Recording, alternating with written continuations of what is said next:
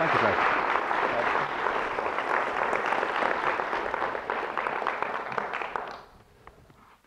Well, good afternoon, everybody. It's uh, a pleasure to be here, and thank you, Klaus, indeed, for um, the kind invitation uh, here. I, I, knew Klaus in, in Washington, uh, so it seemed like a very natural thing when he invited me down to Chapel Hill uh, that I should do so, uh, and all the more so because I've just spent the last uh, three days in, um, at the convention in Charlotte, and um, after three nights attending um, a convention of this nature, it's a great source of comfort and relief uh, to have an opportunity uh, to come to Chapel Hill and talk a little bit about issues uh, to do with Ireland, uh, to do with Europe, to do with the relationship, or indeed to do with anything you want to discuss uh, later on. I'm not going to go on uh, too long. I will speak for about maybe 20 minutes and then we go to a Q&A. And as Klaus says, I'm absolutely happy to take questions on any subject. Um, can't guarantee that I'll be able to give an answer in every respect, but I'll certainly try. So the, the floor will genuinely be open, and um, I look forward to engaging with you. For us, it's extremely important to get out. I'd rather that I was not here discussing Ireland and the euro crisis, but given the nature of what's been happening in Ireland and what's been happening in Europe, um, it's important that I should do so. Uh, if 10 years ago I came here, um, I can tell you there would be only one subject that I would be talking to you about, and that would be the subject of trying to establish uh, peace in Northern Ireland. Uh, it was a subject that uh, would have dominated our discourse. It certainly dominated our presence here in the United States as a representative of the Irish government or for the Irish government. Um, it was a major, major challenge uh, uh, to our country and it was a major crisis that had to be addressed. Uh, fortunately, we're in a situation today where we do have peace in Northern Ireland. We do have peace on the island of Ireland and we do have established and the best set of relations between Ireland and the United Kingdom in the history of the relationship between our two islands. So that's a good success story. And when I came to the United States in 2007, uh, the first thing I would say is that I was proud to represent a country at peace, you know, which we are and which we uh, were then. And I was proud to represent a country that was prospering and developing like no other time in its history. Well, as I say, the first part of it's true. The second part, I've had to adjust the narrative a little bit as we've gone along. Uh, but I would like to share some of those insights with you, and I appreciate I'm among an audience and, um, um, and um, faculty here who are pretty familiar with this subject to begin with.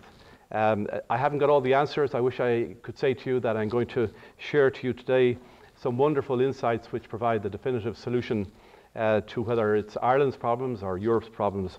Uh, but on the other hand, I'm just happy to speak about them and I'm happy to have an opportunity to do so and to be in the company of my colleague, um, Paul Gleeson, who's our consul in Atlanta.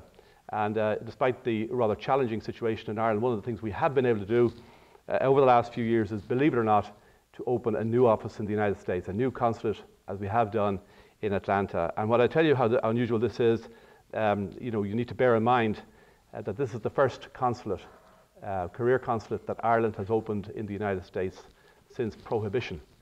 So it's, um, but finally we've discovered that there is a part of the United States that we need to pay a little bit more attention to, and that's this area here, starting in North, in North Carolina, and in Paul's case, all the way down to, um, uh, to Florida, and to begin to fly the Irish flag maybe in ways that we haven't done so before. Because, as all of you know, there's a rich connection between this part of the world, between this part of the United States uh, and Ireland uh, over the generations, and indeed this was probably one of the initial inaugural areas uh, where the Irish of the 18th century, which was before the major wave of emigration, would have come to down the Shenandoah Valley, and obviously for many of them making their homes on the edges of the Blue Ridge Mountains, and you know this area would have been very, very familiar uh, to them. So it's uh, appropriate that after all of these years that I should finally come here uh, to acknowledge that fact and just to share in some of um, that, that wonderful experience that is the experience of the Irish in the United States. Because if the Irish are here in Chapel Hill or here in North Carolina,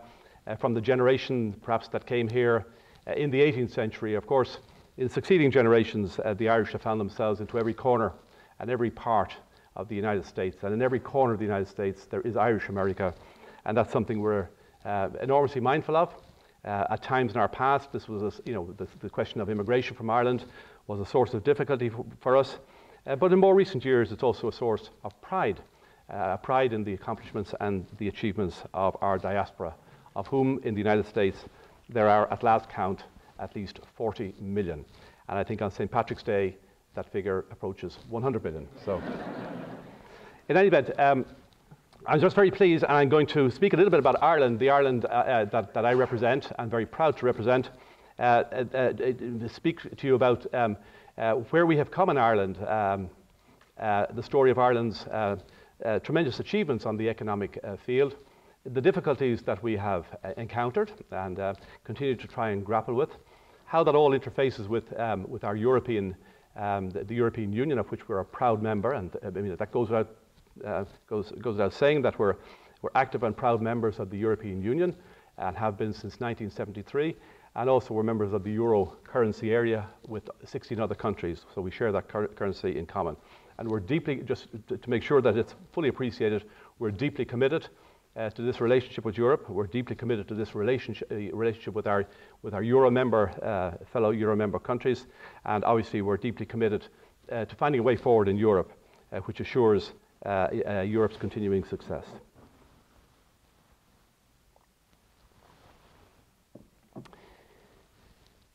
Ireland enjoyed a, a, sustained boom for a period of about uh, 15 years, from the mid 1990s almost until uh, 2008. And it was a source of tremendous international attention, the fact that Ireland you know, prospered like never else before in its history, or indeed um, among European member states was one of the fastest growing countries in, the Euro, in, in Europe or indeed in, in the world. Um, this growth that we experienced at times reached 7%, 8%, 9%, the type of growth rates that you'll today associate with China, and the type of growth rates we dearly love to have again. But they were the growth rates that we were experiencing uh, during that period of the boom, which started in the mid 1990s after a very, very difficult 1980s. But we got our act together, and the 1990s, as the 1990s emerged towards 2000, uh, we began to enjoy tremendous success. And it's very important, I think, to appreciate the fact that this success, therefore, was not a flash in the pan. It was not just a one-year wonder or a two-year wonder. It was a sustained, um, it was a sustained period of growth for, which lasted for almost 15 years. And important to understand that the reasons why we, were, we, were, we grew so successfully in those years, um, you know, and the reasons why Ireland was a success, really are all still there today. The only problem is that we have had to manage in the meantime over more recent years a crisis associated with, with the, the banking crisis and with property, a property bubble which spectacularly exploded in 2008. So in that period of, the, of 2000, um, 1995 to really 2008, Ireland enjoyed tremendous growth. Uh, we enjoyed essentially coming towards the end of that period, we enjoyed full employment. And for those of you uh, who appreciate uh, you know, the statistics in this, full employment in our case was something around 4%. That, that, that represents full employment statistically in our case. This had never ever happened in our history before. Ireland had always been a country which could never uh, you know, look after the totality of its people at home. So therefore, people emigrated as they did in, over the generations, as, and, and, as they did in quite significant numbers also uh, in the 1980s. But in this period of growth, we had full employment, we had net immigration. So instead of Ireland exporting its own people, we were for the first time in our history uh, becoming a country and became a country and still are a country which has now absorbed a considerable uh, amount of, of, of, new people, uh, particularly from Eastern Europe and particularly after 2004 uh, when the European borders opened up and when Ireland itself opened its borders to all the new member states who became members of the European Union on the 1st of May 2004. So this is a big change in the topography of Ireland, in the landscape of Ireland, in every, in, in the way, the demography of Ireland. The fact that we, have, we went from an homogenous country, which was 100% Irish, 100% almost, or slightly less than 100% Catholic, uh, to a country which now comprises many different nationalities and indeed many different religions, and with all the challenges that go along with that. But it was, our, our growth was so, um, so substantial um, that bringing people, uh, growing our population and bringing in a workforce, particularly from Eastern Europe, particularly from Poland, uh, you know, became, um, became a, a, natural for us. Um, obviously, when the, when, the, when the boom ended and when, uh, after the Lehman Brothers collapse, collapse Ireland felt uh, the full force of it. Uh, we suffered a, a property boom uh, collapsed, the bubble collapsed in 2008, and we went into a very, very dramatic and frightening uh, free fall. Uh, you know, I cannot describe to you just how uh, frightening that was, obviously for people immediately affected who lost their jobs, but for others who risked and feared that they would lose their jobs as well. And for a national economy, uh, which the figures for which were cascading at a dramatic rate going from 2008 to 2010. If I tell you that in general terms, the revenue for a small country as, as is Ireland, in any one year leading up to 2007, would have been in the region of 48 to 50 billion um, euros per year. That would be the tax take uh, in those years, in those boom years. Um, and in the space of one year, we went down from 48 to 32, just like that. You can understand the, the, the, the crisis that we had in our hands. And particularly also at that time when uh, it was impossible to know where the floor was. So there was a cascade if you knew it was going to stop at 32, well, you might you wouldn't be happy, but at least you know you know that you stop at 32 and you build from 32 upwards. Uh, but we didn't know where the floor was. But eventually, the floor has been established. Um, uh, it's not great, obviously. It remains in around 32. Revenues at the moment are around 32 billion dollars, 32 billion euros a year. Um, it's, um, it, we have the benefit today of having stabilised as a country. Uh, but in achieving that period of uh, point of stability, uh, which is now there and where our country is growing again. This year, last year, we grew by 1.4% uh, GDP. Uh, not spectacular, but it's certainly better than 2009 when we lost 8% of our economy in one year alone. In 2010, we lost 2% of our economy, all very dramatic. This year, uh, sorry, last year, 2011, we grew by 1.4%. This year, we're going to grow by about 1%. Again, better than the alternative, but really not good enough. Uh, we need to do an awful lot better than that to regain employment and to get back into the fours, fives, sixes, and sevens, which will really see our economy growing again substantially. Tragically and unfortunately, you know, um, we couldn't uh, find our way out of this crisis on our own. Um, um, you know, coming into 2010, it, it very uh, quickly became apparent uh, that we were losing our capacity to borrow money, and every country borrows money. And in all the boom years, we were a triple A country in terms of borrowing rates. But coming into 2010, uh, with the collapse of the banks, with the collapse of the property market, uh, we were no longer in a position to borrow on the external market um, at rates that were, uh, you know, that were sustainable. Uh, so um, we had to get help.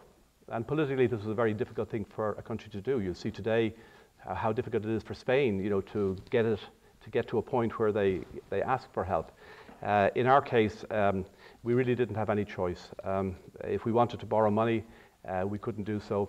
Uh, so the Troika, the European Central Bank, the European Commission, and, um, and um, the IMF had to be invited in, had to step in uh, to accommodate us in a bailout program which would allow us to continue to borrow money uh, at, at, reasonable rates. But of course, subject to conditions. Terms and conditions most certainly uh, did apply and most certainly do apply.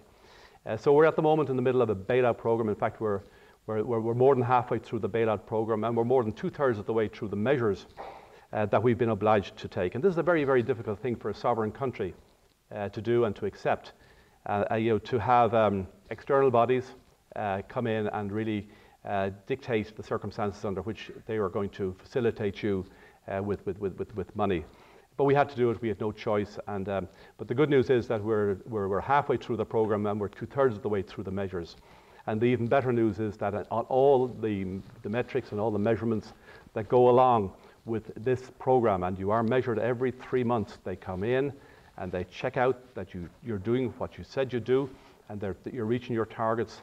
Uh, we have achieved uh, you know, absolutely full points on, on the basis of seven different reviews over the last seven different periods.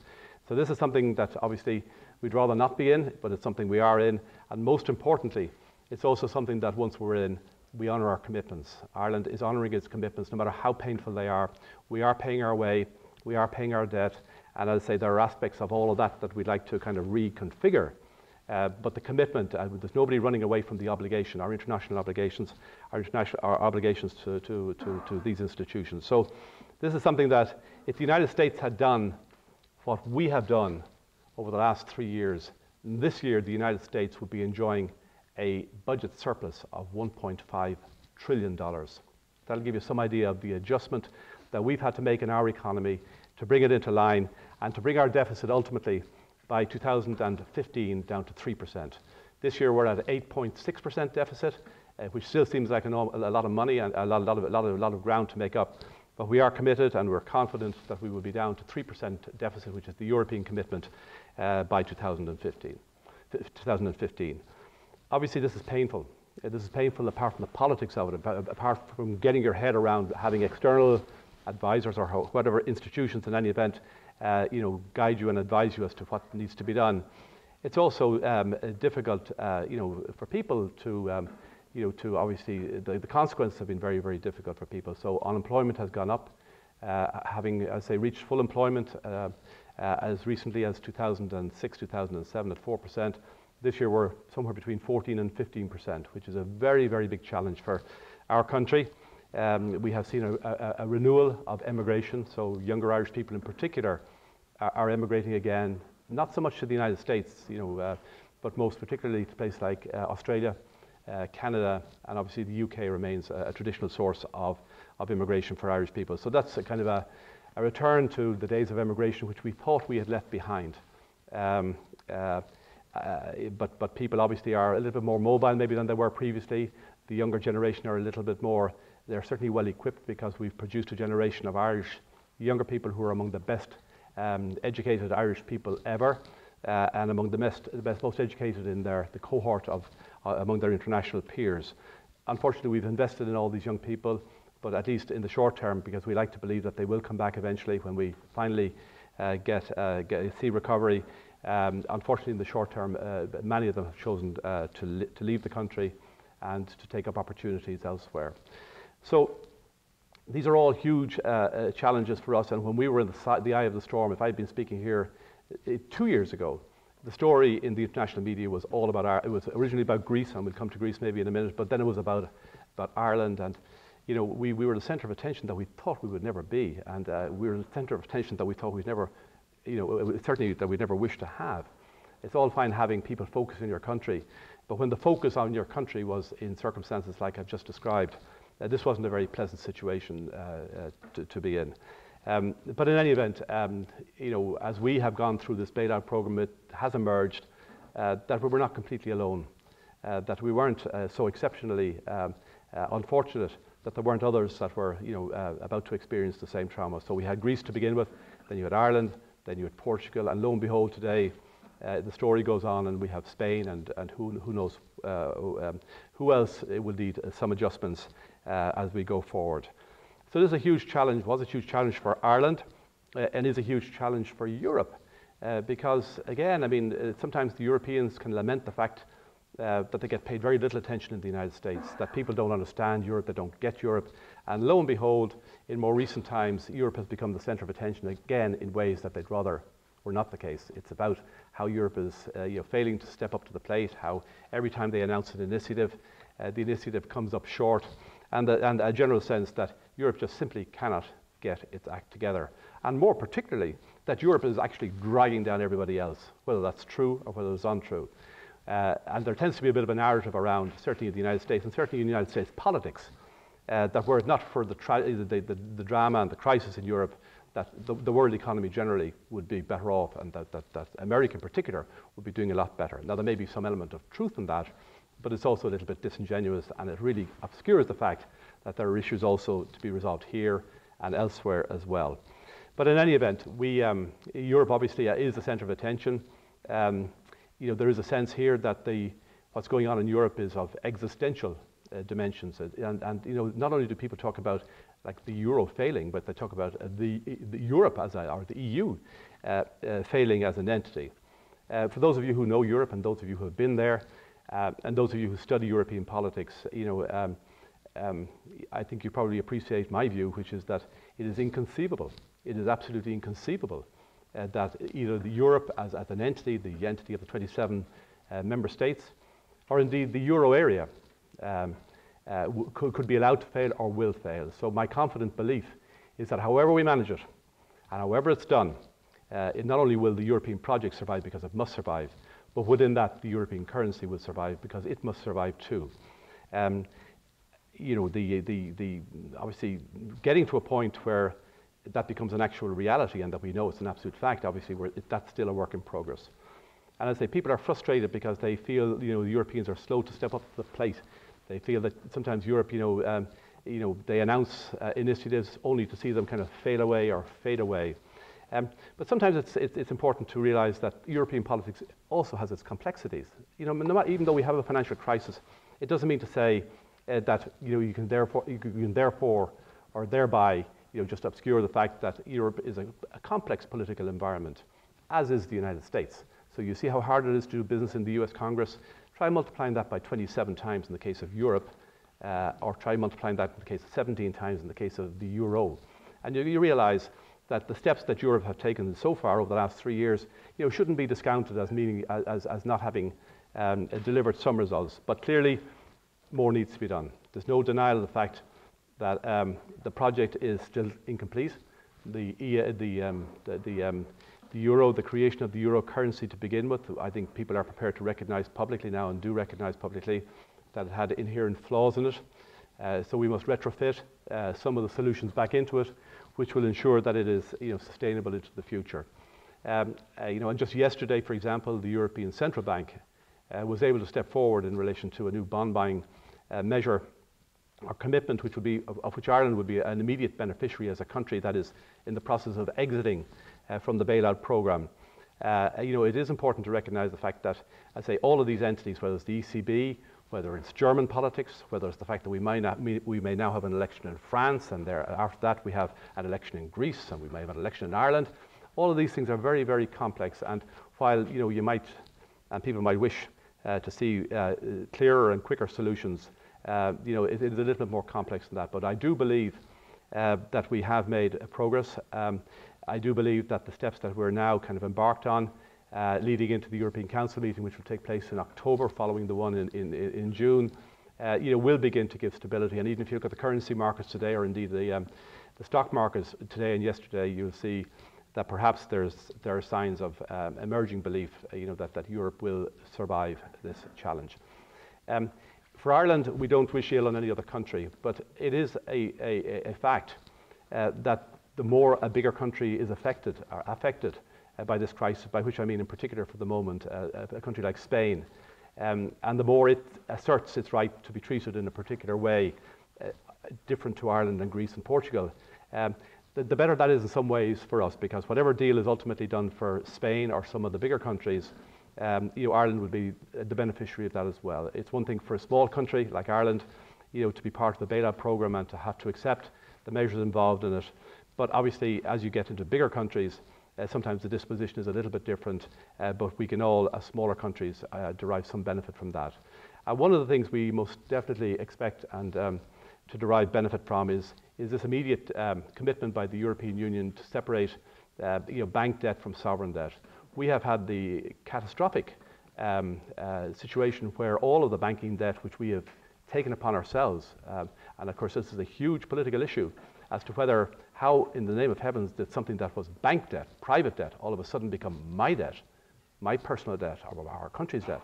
People say, how did, how, did all that happen? Well, that's the way it, it did happen, and it wasn't unique uh, to Ireland. But all of that debt became part of our sovereign debt, affecting obviously our ratings, affecting everything else. But there is now a commitment arising out of the last European Council uh, to separate out and to allow uh, banking debt to be treated in a different way under the ESM be treated in a different way uh, to, um, and not to fall on to um, uh, uh, sovereign debt automatically. So that will subtract a certain amount of our debt and make it, make it, make it more sustainable and make it obviously the figures more, more, more manageable. So, so we look forward to those emerging things. The more European policy emerges on this front, the greater the likelihood is that as it emerges and as the changes are made, they will, they will, they will directly benefit um, Ireland in particular. I say we're, uh, we tend to be, in European terms, somewhat of a poster boy uh, as a country which is you know, stepping forward, meeting the challenges, fulfilling the goals, and um, obviously we don't object to that categorization, uh, but, but obviously if there's a better deal to be had within the deal, uh, particularly in relation, relation to, to debt and to bank debt, obviously we would wish to avail of that. So it's, um, it's, it's obviously a huge um, um, um challenge uh, for us. We look forward very much to our presidency of the European Union, which is in the first uh, six months of, of next year, uh, and where we will be, uh, have the management of the Union you know, in the post Lisbon environment, obviously, and, and um, given our opportunity to uh, obviously play our role in Europe and make our contribution to Europe as well, because we are you know, committed Europeans, we're committed to the transatlantic alliance, uh, relationship as well, we're committed and um, unique, uh, uh, have a unique friendship with the United States. Uh, uh, but but the, uh, our relationship with Europe is obviously in terms of trade, in terms of where our economy is, and in terms of where our future is. It's, it's indispensable and it's critical to us. So we want Europe to succeed, and we will certainly make our, play our part uh, in assuring that. And if I could just uh, say to you, not every country has, uh, has, has asked its people from time to time to check and see whether they are true believers in the European project or whatever the project was from time to, was from time, to time. Uh, and in the face of all of this crisis and all of a kind of a perceived sense that you know, we've been hard done by Europe and were it not for you know, the ECB or Angela Merkel or whatever else, you know, we'd be a lot, you know, and we're really being, we're really being given a tough time. Uh, the Irish people, nonetheless, were asked to make a decision in relation to the um, European Stability Mechanism. I think it was only as recently as last, um, last May. You say that's uh, most people, when, when the government announced that we had no choice but to have a referendum, most people said, you haven't a hope. You haven't a hope of convincing people in the face of all of this uh, downturn, in the face of all of this anger, anger uh, that, that people uh, were, were experiencing and were expressing. You hadn't a hope of, of convincing people that their future needed to be in Europe. But lo and behold, um, uh, and this wasn't, of course, the first time that we've asked people to give a, give a, to, to express their views in a referendum on Europe. I think it's about the fifth or sixth time. No other country in Europe has had a a, a, you know, kind of successive validations of our, of our membership with the European Union in the same way as we have. But would we, you know, but asking the people in the midst of this crisis, you know, whether they could um, continue to subscribe to this was, was a rather challenging business. But ultimately, you know, people obviously decided that the answer was yes, we're staying with Europe by whatever the figure was, 66%.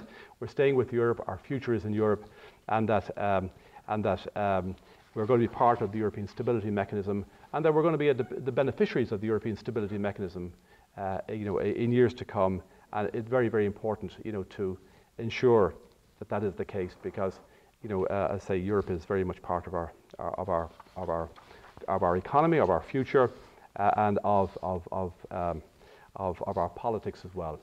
So just let me just uh, digress a little bit and just to say to you that you know, when, when people talk about Ireland um, in more recent times and when you see coverage of Ireland, you know, obviously it addresses the question of the crisis, as I say, which is primarily a banking crisis, which is primarily a property crisis which feed, uh, from which the banking crisis derived. But you wouldn't want to get the impression that therefore Ireland has come to a full stop. Uh, there is a tendency just to concentrate uh, on the fact that we have all of these problems, and we do have these problems. But you need to know also that side by side with this, um, the economy is actually you know, doing reasonably well. I say we're growing again. Um, uh, we have, um, we have uh, you know, our exports are up. And when people talk about the fact that they will grow their way out of their, the, the crisis by exports, uh, we don't have any choice. It's the only way we can get our way out of this crisis. Our exports grew last year by 4%. Uh, they're doing very, very well. We, they, they, obviously would like to do a little bit better. There would be a concern that as we're swinging out of this crisis, that other countries may be uh, emerging into it. That would be a big problem because we really do everybody, need everybody to grow. We export 100% of, of, what we produce, 100% of our GDP is exported. So we export or we die. Uh, but the good news is that we are exporting and that there is a functioning side to the economy. There's a real economy there. Unlike perhaps, and I don't necessarily categorize Greece in this case, but I mean, that people do refer to Greece as having a very different economy in Ireland. Ireland most definitely is not Greece, no more than Ireland is Portugal. We have an economy which, is, which has a, a huge manufacturing side. People might be surprised a little bit to know that you know, our biggest industries are pharma, ICT, and uh, financial services, and that you know, we are going to grow our way out of this um, uh, crisis uh, by way of exports primarily. Our exchequer revenues, I mean, the money coming into this, uh, the, the government, as I say, have stabilized, and uh, you know, we believe that, that, that uh, with a fair wind, um, and with other countries you know, you're growing as well, that we can certainly work our way out through this, uh, this crisis. It's a crisis, obviously, we never expected. It's a crisis clearly we, we could never have planned for, uh, but uh, it's been a very, very sobering experience and one which obviously, you know, having gone through it, uh, the mistakes that were made are obviously mistakes that will never be revisited again. Um, we obviously, having asserted just how important the relationship is with the European Union, and it is preeminent and, and important, you know, you need to know also, of course, that our relationship with the United States uh, is, the United States is our biggest single export market. Um, we continue to attract huge American FDI into Ireland, foreign direct investment into Ireland. And in fact, we in Ireland have FDI from the United States greater than American FDI into the BRIC countries combined. So Brazil, Russia, India, and China combined, the investment by the United States in those countries is still not as high as uh, the US investment into Ireland. So this has been sustained throughout the period. Many of the FDI countries that came to Ireland over the decades, we have retained them. Very, very few of them have left during the, the crisis period, and most of them continue to do uh, very well. So at the moment, there are about 500 US uh, multinational companies operating in Ireland, all quite successfully, all doing very well, all involved in export, all primarily involved in ICT, pharma, um, uh, financial services, and that type of thing. But there is another side to that as well, and that is to the extent that um, the US invests in Ireland, you need to know that Ireland also invests in the United States. And Ireland is about the 13th largest investor in the United States economy. So sometimes when you hear this narrative from Charlotte about shipping jobs overseas and all of that kind of thing, you need to understand that that's part, as we would assert, of the modern reality. But you need to also understand that there is, this is a two-way street. So our relationship is such that Ireland, in its own small way, generates something like 85,000 jobs in the United States. The United States generates about 100,000 jobs in Ireland. So it's two-way, it's mutually beneficial, and obviously we appreciate what we, what we get. Obviously, for, you know, that number of people for Ireland is, a, is clearly a lot, a lot, better proportionately than 85,000 here, but nonetheless it's significant um, uh, and, and, obviously very important. But you know, in terms of the scale of it, eight out of the top um, 10 global ICT corporations are in Ireland, nine out of the top 10 pharmaceutical corporations are in Ireland, 17 out of the top 25 global medical device corporations are in Ireland, and 50% of the world's leading financial services firms are all in Ireland. They're in Ireland for a reason.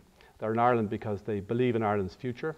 They're in Ireland because Ireland is part of the European enterprise, and indeed Ireland is part of the euro as well, despite the current uncertainties. They're in Ireland because we offer them an educated workforce. They're in Ireland because we speak a reasonably good form of English. They're in Ireland also because we have a tax rate of 12.5%, which is, which is obviously very, very competitive, and obviously a tax rate which, despite the pressures from some of our European partners, uh, we are determined to maintain. So I'm going to just uh, stop there, if, if I may, and just um, uh, maybe get, get, a bit of question and answer going, and to see whether we could just have a bit of a conversation around some of these issues. Uh, but uh, we're just very um, proud of our relationship with Europe. We're very proud of our relationship with the United States. We deeply, deeply care for our reputation. Um, you know, when this, uh, when Ireland entered the crisis in 2008, um, we suffered enormous reputation, or we, we felt we had suffered enormous reputational damage. And maybe we were being a bit sensitive, but we, we, we really did feel that, gosh, we'll never get out from this reputational blow. How could a country you know, that was doing so well have ended up in such a dramatically adverse situation? I was delighted to see today that there's an institution out there called the World Reputational Institution. I didn't know it exists, but I'm glad it does. Because if, you, if Canada is the country in the world which has the highest reputation internationally, number one is Canada, you know, Ireland is number 12. We'll take that for the time being until we get back to being number one. Thank you very much, Dave.